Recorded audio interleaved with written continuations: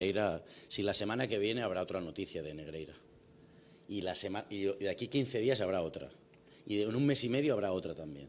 Sabéis mi opinión del caso Negreira. Si tiráis de hemeroteca, que eso os gusta también, ¿no? De hemeroteca, ¿eh? para lo que os interesa, tiráis, ¿no? Pues si tiras, sabes mi opinión del caso Negreira. Yo nunca, nunca he tenido la sensación, nunca, y lo, repito, que los árbitros nos han beneficiado. Nunca, nunca.